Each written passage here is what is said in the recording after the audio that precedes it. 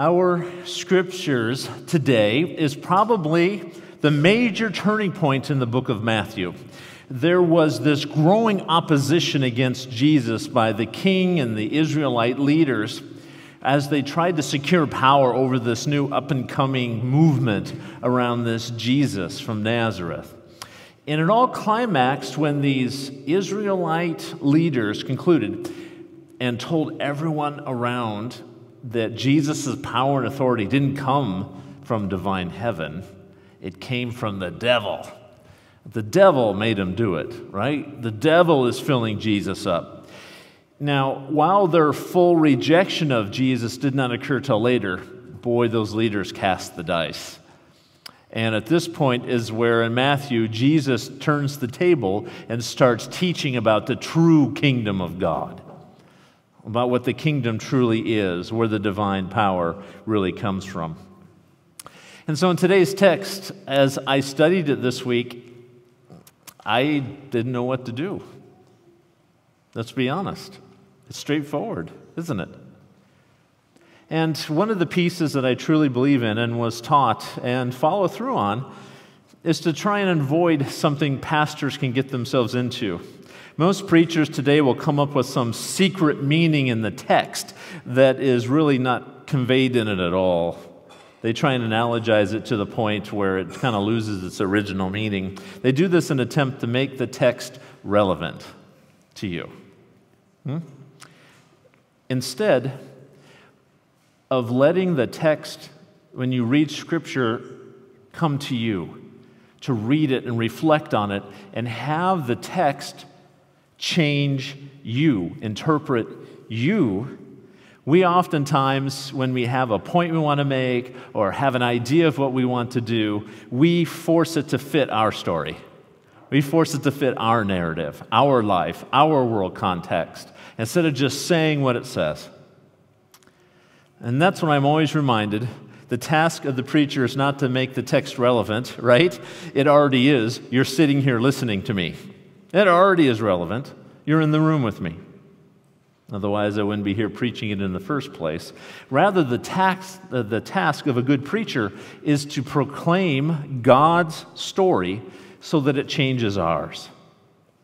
Basically, the do the text to the hearer. My job is just to read the text and get out of its way. That's the true heart of a preacher. Just preach it. In today's text, more than many. Jesus is speaking clearly and is blatantly doing all the work, doing all the work for us. And so today, for a change, I'm just going to proclaim the text. And what I did on the back of the bulletins, if you did take one, is I created and I just kind of threw out there some of the basic elements of story character, plot, conflict, resolution. And as you hear the story again, just think of all these pieces in the story, what Jesus is doing, uh, what he's doing with it, because all the elements are very simple, but it has a very powerful ending. And so I say all of this those who have ears, let them hear. And so let the Holy Spirit move us to change our story. Jesus told them another parable. The kingdom of heaven is like a man who sowed seed. I went to go buy wheat, but it was hard to find, and so grass will have to do. And then when I opened it up, I found it was coated in green stuff. So, anyway, the kingdom of heaven is like a man who sowed good seed into his field.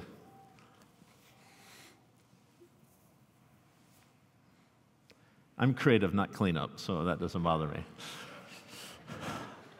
But while everyone was sleeping, you have no idea how hard this was to get this morning.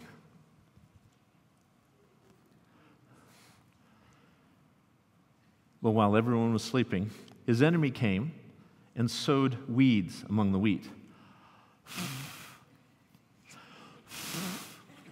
I got to back up. Ooh, that's good.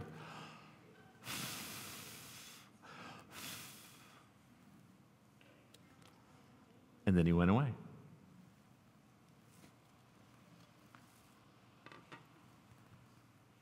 I think we all can get that illustration, can't we? I fight those weeds every day. Now, when the weed sprouted and formed heads, when the grass grew, then the weeds also appeared. The owner's servant came to him and said, Sir, didn't you sow good seed in your field? Where then did the weeds come from? Well, we even know today it just it is the good and the bad, they're all next to each other. An enemy did this, he replied. The servants asked him, Do you want us to go and pull them up? Have you seen the tool that takes dandelions out of ground? I should have brought it. That big bifurcated thing that rips up everything around it? No, no, no, he answered. Because while you are pulling the weeds, you may root up the wheat with them. You may pull up the wheat with them. Let both grow together until the harvest. At that time, I will tell the harvesters first collect the weeds and tie them in bundles to be burned, then gather the wheat and bring it into my barn. The text. And, and if that wasn't straightforward enough, I think we all know what seed and weed and good and bad. And they asked him later because the ending was so disturbing to the disciples, they actually asked Again, could you explain that for us? So, not only does he give us a wonderful story, he explained it. So, what am I going to do? Then he left the crowd and went into the house. His disciples came to him and said, Explain to us the parable of the weeds in the field. He answered, The one who sowed the good seeds is the Son of Man. The good field is the world, and the good seed stands for the sons and daughters of the kingdom. The weeds are the sons of the evil one, and the enemy who throws them is the devil. The harvest is the end of the age, and the harvesters are angels. As the weeds are pulled up and burned in the fire, so it will be at the end of the age. Now, don't miss this language. The Son of Man will send out his angels, and they will weed out his kingdom, everything that causes sin and all who do evil. They will throw them into the fiery furnace where there will be weeping and gnashing of teeth. Then the righteous will shine like the sun in the kingdom of their Father. He who has ears, let them hear. Now, there's this beautiful story. And if you ask me, I love God, creator. I think God is at his best when he's creating. Okay? And in this sense, he created this incredible story for everyone to listen to. It's simple, it's straightforward. And as I mauled it back and forth this week, going, what am I going to do to it? And I don't have to explain what a denarii is or what donkeys were used for. I don't do any of that. There it is. Jesus is proclaiming this unabashedly, unapologetically. He's giving them a very simple story with a very powerful ending. And if you're keeping track of the characters, there are so many in here the farmer or the son of man, the field, the good seed, the weeds, the enemy, the devil, this, this harvest, the harvesters, the angels. If you were thinking about the plot, oh my gosh, what, what, a, what a simple but, but really neat plot. This man sows good seed, and then, of course, the, the, the weeds come, and, and both are allowed to grow together. Both the good and the bad were allowed to grow, where, where God would water, bring, bring food and water to the righteous and unrighteous in this world as they grow up next to each other. And, and just as a question, which one did you think you were, by the way? Are we kind of both sometimes? And so, are you happy he doesn't rip you out of the ground too early? Uh, it, it's very interesting watching all of this happening. And so um, he says, No, leave them in there. And then he gets into it.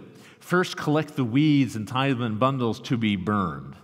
Then, gather the wheat and bring it into my barn. So, you have this incredible deal conflict. There's always good conflict in good stories. And you see the conflict going on in here. The good farmer versus his enemy, the Son of God versus the evil one, the good and the evil, the wheat growing, living among the weeds, the people of the kingdom versus the people of the evil one, destruction versus existence, life versus death. Which got me to the point where I did want to say something about this incredible story of Jesus life versus death. it's the resolution of the story that really caught my attention. See, at this time, the disciples didn't know that he would have to die, right, to fulfill this kingdom. And so they were confused, and that's why they asked, Tell us more about the end. You know, what does that mean? Because there is no, well, escaping it. It's kind of crazy. There is no difference. For all have sinned and fall short of the glory of God. So the disciples looking at each other are going, um, We're evil. We cause sin. We're broken. So if that's the case, then what's going to happen to us again? Burned into the fire, gnashing and wailing at the end when we are judged? There is no gray area here in Jesus' story. There is no 51% good or 99% good is good enough. We are judged good or evil in the end. You are either people of the kingdom or you are people of the evil one, and you will be judged. And folks, we are all up against the wall here. We don't often preach this as a church, but Jesus is preaching it for me in this text, unapologetically. The time is coming, declares the Lord. Hmm? Where are you? Where are you right now? And there's no escaping the text. You know, we're in it. And, and, and there's so many acronyms going out there, I decided to do my own. WDYWFMN. And I shouldn't have put it in, I, I should have just let him struggle. Anyway, what do you want from me now? Okay? So, as, as you hear this story, and it really started to sink in this ending, like the, the one piece he didn't elaborate on is how do I get on the right side of that story? How do I get on that right side? Because I'm never going to be 100% good. I'm, I probably will never make 51% good. How do I pull this off? How do I become sons and daughters of the kingdom? What do you want from me now? That's the beauty of it. Jesus Christ, in the midst of telling this, has a surety about him. He has an answer with him. He is the answer. Thanks be to God that Christ Jesus is our answer. He has paid the price for our sin and evil, and so he is judged for us. When we go before the throne someday, when we are going to be judged, and everyone in this room will be judged around the world, are you good or are you evil? Are you of the evil one? Do you cause sin? Do you bring evil into the world? You will be judged. Period. Jesus says so. When you stand before the judge someday, this is what Jesus promised I will stand in front of you, and he will judge me instead. So, as I am before the throne, this righteousness that Jesus attained for me on the cross, that's what will be judged. This righteousness from God comes through faith in Jesus Christ to all who believe. There is no difference. For all have sinned and fall short of the glory of God. We're all in it together. We're up against the wall, and it is coming sooner or later. But this is the beauty of it. But we are justified freely, which means you didn't earn it. There's nothing for you to attain it. There's nothing for you to keep it. You are justified freely by His grace through the redemption that came by Christ Jesus. And so, the narrator of the story, the creator of the story, the teller of the story, is sitting there with the answer. it's Him. And the hearers at the time didn't understand. But I proclaim it to you today it is Jesus Christ. We are now sons and daughters of the kingdom of God because of Jesus. So, how does this play out. what do you want from me now? I should expand that. What do you want from me now, Christ Jesus? Put a C and a G in there, or J in there. See how long I can get it. What do you want from me now? This is the first. We repent. We go before the Lord and say, Forgive me. Forgive me for my actions, my deeds, and the things I didn't do. We do that in church, don't we? That's the rhythm of faith. We come out with the confession, the Ten Commandments. Then we declare the Apostles' Creed, what he's done for us. And then we preach his word. And then at the end, we pray to him, Now strengthen me and help me live my life. It is the rhythm of faith because we succeed, we feel great, then we fail. Then we succeed. We feel it's, it's this rhythm, right? It's this constant repentance and filling. And so repent before God. Ask for forgiveness. Ask. He will give it. In those days, John the Baptist came preaching in the desert of Judea and saying, Repent, for the kingdom of God is at hand. Some sooner, some later. Repent. I do it. Christians do it. Repent. Okay? What do you want from me now? Connect. You repent before God. You don't even have to have a relationship with Him at first. Just turn to Jesus and say, I need your help. I can't do it. I'm sick and tired of being sick and tired. Take my life. Help me. And then you get to know Jesus Christ by connecting with our Savior, right? Through prayer, through just talking with Him, through listening and reading His Word, through spending time with other believers who share their foibles. That, did you know you can repent, you can confess to one another and receive forgiveness? This is all about Jesus and belonging and, and having somewhere to be. You connect with Jesus, spend that time with Him, get to know Him better. And as you sink deeper into Christ, the world begins to open up. Life begins to enter into your own, where, where you can truly live because life with Jesus begins now and lasts forever. You connect with Him. Love this with Paul. I have been crucified with Christ, and, and I no longer live, but Christ lives in me. The life I live in the body, well, I live by faith in the Son of God now, who loved me and gave himself for me. And so he's got me. Jesus says, I gotcha.